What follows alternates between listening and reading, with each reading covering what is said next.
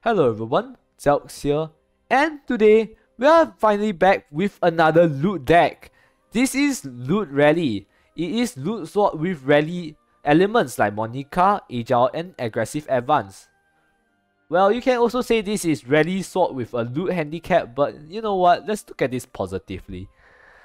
So, of course, we have all our standard loot cards. We have Deep Sea, Illustrious Tidal, Stormrat and Barbaros, always from the Condemned, backing Asval, and they are still pretty okay, decent at doing what they are supposed to do. We have new cards like Nightly Thief, Loot Generator, sending the troops helps discard any excess uh, loot cards in your hand that you don't need. And then we also have Monika, which actually enables a turn 8 OTK with this deck, or just another variant of the turn 8 OTK.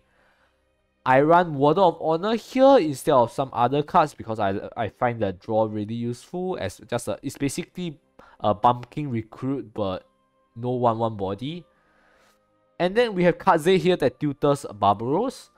It's really important that you get at least one copy of Barbaros when playing this deck since you know she basically helps you advance the loot quest for free which is the play at least 7 loot cards this match. And the earlier you get that done, the the more fun you will have. Then the rest of the list is pretty standard for sword deck. Anyways, the idea is really simple. You ready, you play loot cards, and you try to finish the game on either on turn 7 or turn 8. Usually on turn 8 with a combination of Barbaros, Aja, and Monika's last word effect. Without further ado, I'll talk about more about this deck as the games as we play through the games. If you enjoy this sort of content,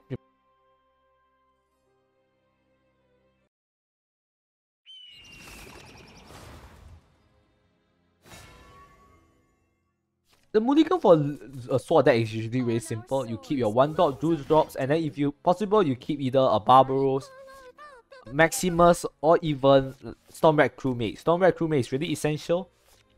Over here, since I secured Warden of Honor and Monika, I'll throw away the Deep Sea Scout since she's better in the later rounds of the game rather than on turn 1 play. I'm up against Haven, so, well, either heal or crystallize since they played whatever this is, if this is actually Font of Tranquility, this is actually probably Hugh Haven. Since I did draw the Deep Sea Scout again, I decided just like, you know, get more cycle in. Technically, she's a 2 mana, draw 1, advances 1 loot. Which is okay, it's a fine end card. Fine card and all. And honestly, not that bad. Aggressive Advance is used as ready, so if actually it's a, a pretty decent uh, early game control card. So if you can choose to keep it, do keep it. You can help you get into some really positive traits. Like even here, even though like he managed to secure board control, I think I'm still uh quite okay with the board state. Staying the Truth is really useful for discarding Mikael, which is something you want to invoke and not really something you want to like hard play.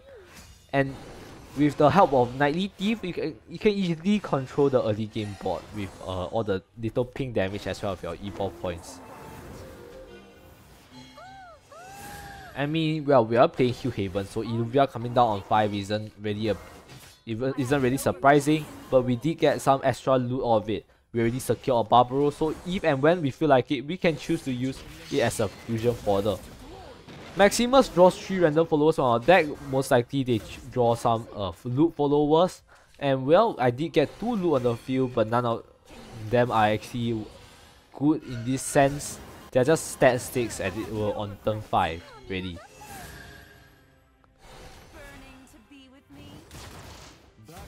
Well, look, they are just doing Hugh Haven things. Maybe they shouldn't have played the uh, Pure Flame on on 6, but you know what, I'm not gonna complain. Stormrat First Mate is uh, the one of the best cards you can have on turn 6. Stormrat with Evolve means you get to play at least 4 loot on turn 6. This accelerates your quest greatly and probably just in time for Barbaros to be active on turn 7 as well. But as you I, I only have one copy of the Barbaros for now, so actually I might I might not even be using Barbaros on turn 7. it's more likely that I'm going to save it for a turn 8 OTK. So you'll be ex probably expecting a Stormwreck with a Monika play next round. In fact, Stormwreck actually gets stronger the later into the game it goes. Even though its power scaling isn't as fast as as other cards, but it is still a really good card. Just him with evolve points alone is probably extra 2 damage every every turn. And with Monika here, I actually use the Gilded Boots to actually ensure that she dies and doesn't get transformed or banished or whatever Hugh Haven might decide to run.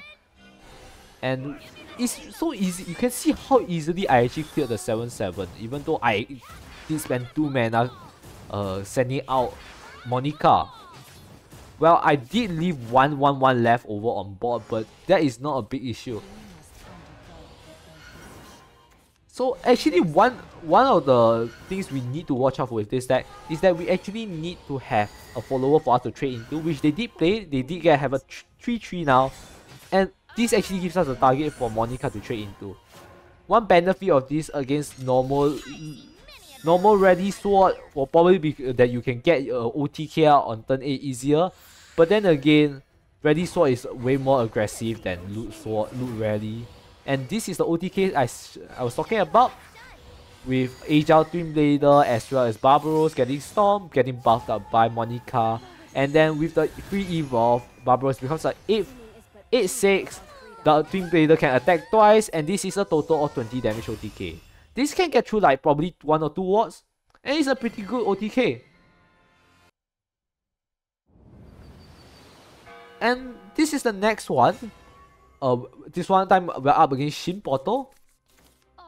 If I remember correctly, this is Shin Portal. I haven't, I haven't, I haven't. This this game is from quite a while back. But anyways, of course, Mulligan, you never want to keep Mikhail, and we did get a pretty decent hand. This is a full hand of loot generators, meaning that I could probably get my loot quest done really, really early on. Actually, still on turn six. You probably want to play Maximus on 5. This is why having 3 copies of Maximus is really, really good. For most sword decks, Maximus rallies 4. Basically cheats out uh, 6 mana's worth of followers for 5 for 5 mana. And for now, this is... The usual early game is really simple.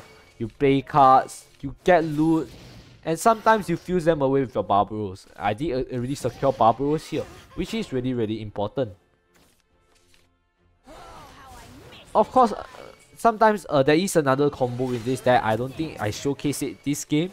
Uh, the combo is to actually fuse, get at least 7 loot fuse before turn 8 and also have 2 copies of Dread Pirate's Flag in hand. And then you need at least 2 copies of Tidal Gunner as well. You can easily get the Dread Pirate's Flag using Barbaros. Like just 2 copies of Barbaros, 1 on turn 4, 1 on turn 7 and you probably get the 2 uh, Dread Pirate's Flag necessary. And with the two Barbaros, you can also uh, get fuse away almost loot cards for free. So just concentrate on generating loot and you just wait until and draw all your Tidal Gunners. I, I can afford to be a bit more aggressive here because Shin Portal doesn't really aren't really active early game. But once Evolve them comes into play, well, they start evolving like no tomorrow. Really, like look at this. This is two revolves already and they haven't even used an evolve point yet. Probably gonna evolve that to get Kasim out as expected. And next turn, I am gonna play General Maximus to just cheat out followers. It's like, it's usually one of the best turn 5 plays for a sword. Luckily, their arc buff the, the Machina Droid, so it just dies. And since I did get Storm Wreck, wait, what? Do I not have a loot in hand? Okay, so I don't actually have a loot in hand for a Stormwreck to target, so if I had a look in hand, I would have chosen to evolve Stormwreck instead. But since I don't, well, it is what it is. Of course, now my goal is actually to rush uh, Shin Portal down.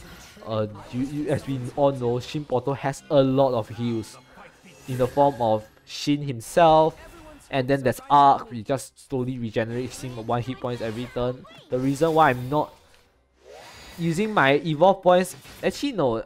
Right now, he's using way more than me, so it's not really something I'm using. I I'm gonna probably like saving my evolve points trying to like deny him the guaranteed heal. But that is an uh, that's just another advanced game plan that even I myself don't understand why I did it. Anyways, it's turn 6. Of course, our best turn 6 play is Stormrat crew mate, first mate alongside with his gang of rushers.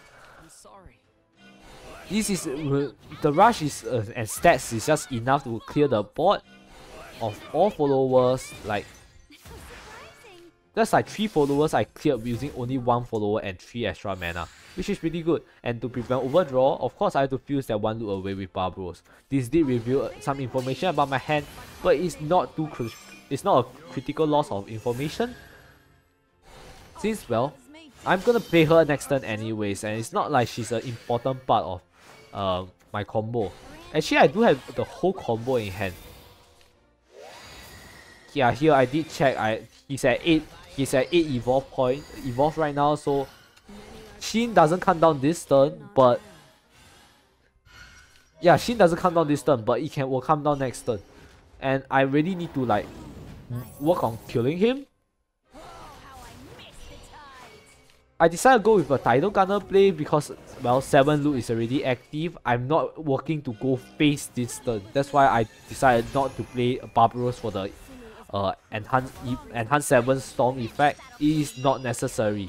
Since I believe I'm going to trade my Barbaros in anyways. Well, actually, I could have done this in maybe a different way, but... But for now, I guess the ends justify the memes. I'm not dead. He's, he probably has Shin it's gonna be a tough time.